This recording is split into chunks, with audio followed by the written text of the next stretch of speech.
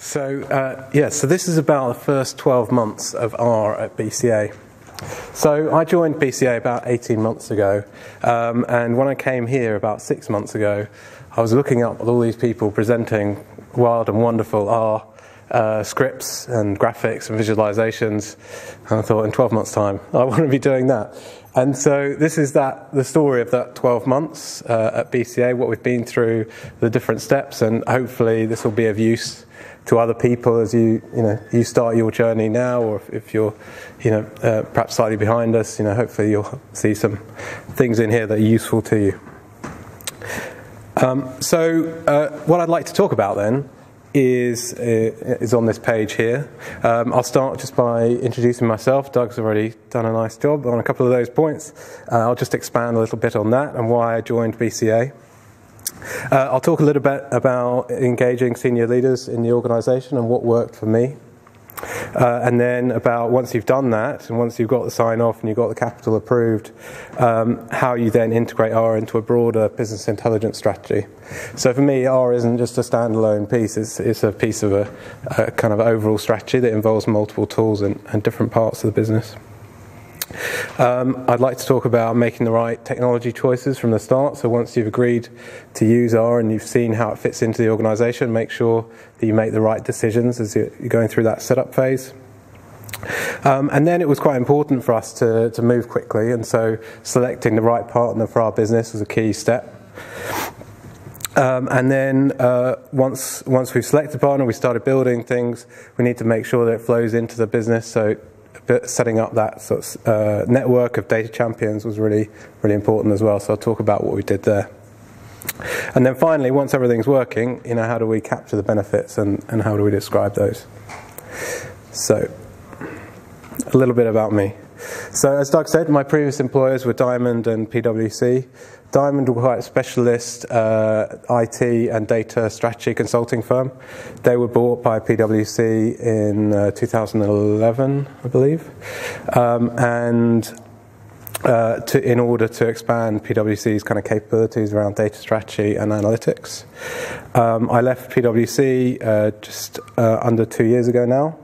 Um, I thought after 13 years as a consultant, telling other people how to implement data analytics, I should try out some of the ideas myself and see if they work. Um, so I've been doing that for the last two years. Uh, outside work, I uh, have a, a, DJI drone, which I quite like flying, uh, and this was a picture from a recent holiday. Uh, and also, I'm quite a cyclist as well, so I like photography and cycling. Uh, about BCA then. So, uh, BCA are the largest vehicle remarketing organisation in the UK. Um, a lot of people uh, will be aware of fleet and lease arrangements that uh, you might have with your company cars. Typically, at the end of that three years, the leasing car company wants to dispose of the vehicle, um, and that would be uh, a good source of vehicles for us. Equally, when you part exchange your BMW in a Porsche dealership, uh, should you be so lucky, um, you, uh, the Porsche dealership was no interest in the BMW, so they would then offload the car through us as well. So we're typically a business to business car uh, marketing uh, uh, company. We also do a lot of logistics work um, as well around that, and a number of you are probably aware of those very irritating uh, jingles from We Buy Any Car uh, that's another part of our business as well, the vehicle purchasing division. So, um, why did I join BCA then? Uh, so, three quick images on that. Uh, the first reason was um, I like to ski in fresh snow, and that's an analogy I apply to data science as well. I think uh, the more interesting uh, data science roles involve data when no one else has uh, sort of explored it before, and so I wanted to join a company where there hadn't been anyone using R before I got there. There hadn't been anyone using SAS. It was all virgin, fresh snow, um, and uh, yeah.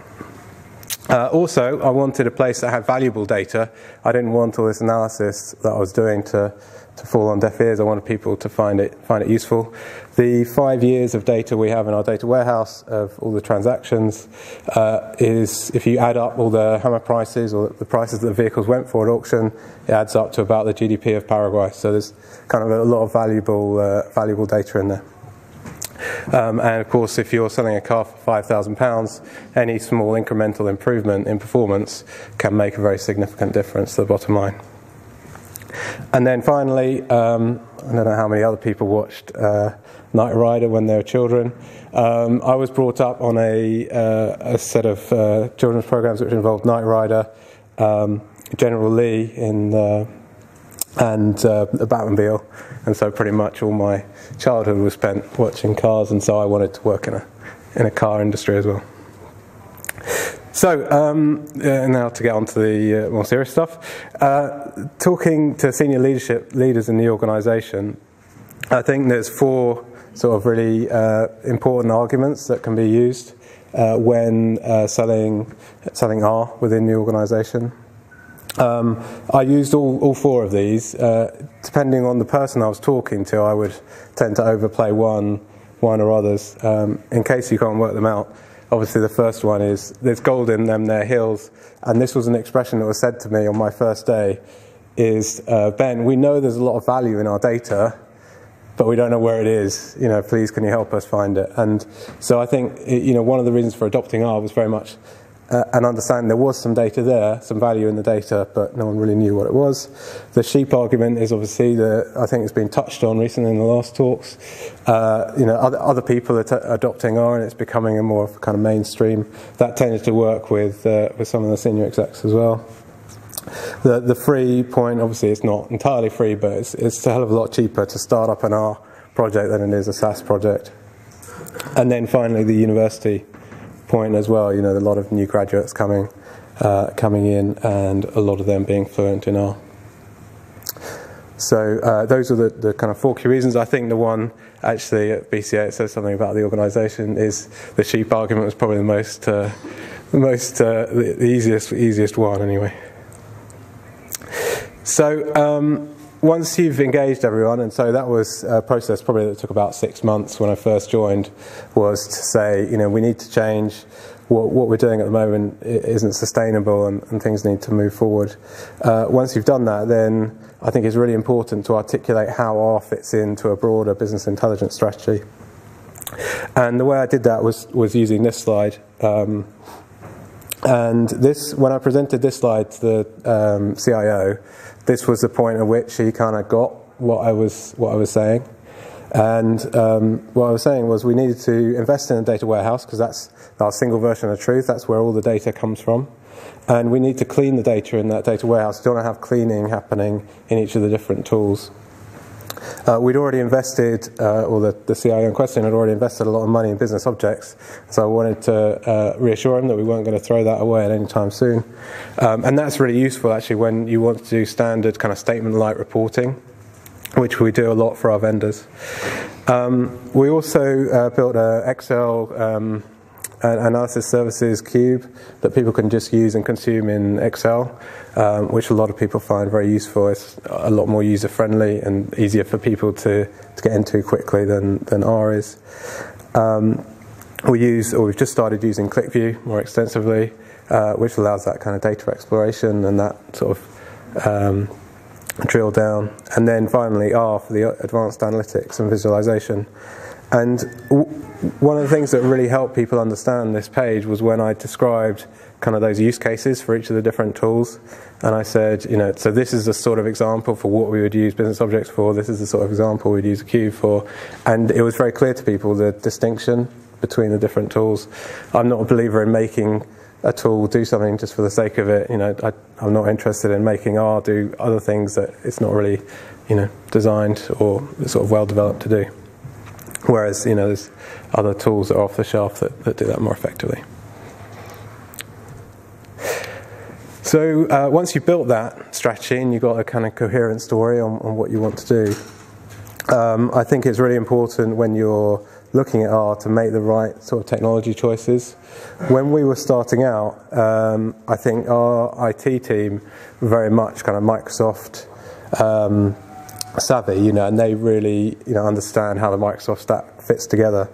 And so I think a natural sort of choice for them would have just been to build me a Microsoft uh, Windows server and say, there you go, Ben, pull your boots, you know, go right ahead. We can easily maintain that. Um, and uh, I, I, rather than just accepting that, um, we we put together a, a really it, it, was it kind of went down as one of the most important meetings, I suppose. We had an expert session where we had people from outside come in to help us sort of understand the different pros and cons of different technical choices. And it was through that session that we said, okay, yeah, there are some IT benefits from uh, maintaining a single sort of software vendor in Microsoft, but equally there are also some quite significant benefits in terms of being able to use RStudio server if you run uh, Linux versus that's not available in Windows. And so uh, what we ended up using was CentOS um, because there was one guy in the IT team conveniently who had some familiarity with that. Um, and to keep to keep IT happy, we actually ended up using Microsoft TFS Team Foundation Server as our source code system because uh, that has a Git uh, connection. So from RStudio, uh, we've got the full version control stuff built in using RStudio. It just connects seamless, pretty much seamlessly uh, to TFS server. So all the source code and everything else is kept in the same IT sort of uh, control, backed up, and everything else. Um, but we get to use RStudio server and all the kind of benefits that goes along with that. So. Um, once we've made those decisions, um, it was then important to us to, to choose the right partner to, to help us along that journey. And um, there were two real key aspects that we wanted to include into that decision. Um, and this goes back to before I, I started, BCA had commissioned uh, another um, sort of consulting company uh, to do some work with us. And uh, the, the, one of the things I found when I started working at BCA was that there were some issues with some of the work that they'd done that no one else had picked up um, because you know no one else in the organisation was kind of savvy to that level of, of detail, and um, so there was a lot of sort of mistrust, I suppose, or concern that if we were going to go and uh, select another partner, uh, that they would do the same thing effectively, and we needed to know that whoever we brought on was going to have the sort of technical capabilities. I think if you're doing a vendor selection exercise, it's very easy to do the kind of can they work with us piece because actually that's um, that's a relatively straightforward. You can meet them, you can see how you get on with them, you can have a chat. You know, you might after the pitch, you might you know go and get a coffee with them or whatever, and you can kind of understand if you can work with them. I think assessing uh, a, uh, an external advisor's technical capabilities during that sort of process is actually relatively difficult. And so the way we went about it was um, we said, well, you know, we're judging, we, we want them to do work for us in, in R. Uh, why don't we get them to do a sort of mini exercise? And so we had three vendors uh, we gave them all the same uh, training set of data, um, and we said, you know, go and build a model um, on this data, and whoever has the most accurate model kind of wins this that component of the selection. Um, it was incredibly useful because it uh, really drew some clear water in between the different vendors we were talking to. Uh, the first vendor completely failed to, to get a, a model back. Uh, the second one brought one, back one with some significant errors in, and the one we ended up going with actually, you know, was was easily the most most accurate. Um, and I th- I found it incredibly uh, useful to have that kind of quantitative piece alongside the qualitative piece because it, it I think when you're doing a selection like this, it's very easy for the senior people into the organisation to go, let's have the cheapest. You know, why spend extra money on these guys when you know these guys can do effectively the same product? And if you've got a kind of quantitative analysis that says, actually, well, you know, we gave the guys the same data, these guys were two percent, three percent, whatever it is, more accurate.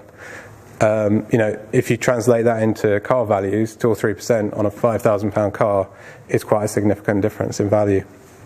So I think it's it's really useful to have that kind of qualitative piece, and I'd certainly look look for that uh, if I was ever going to do this again.